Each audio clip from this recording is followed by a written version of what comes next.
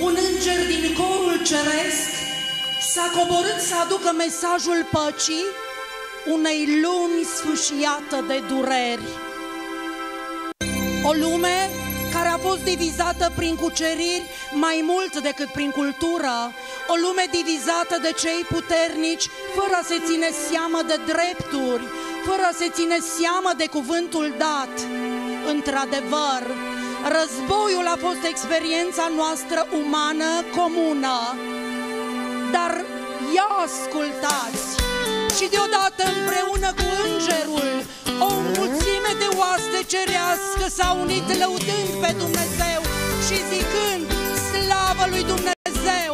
În locurile prea înalte și pace pe pământ.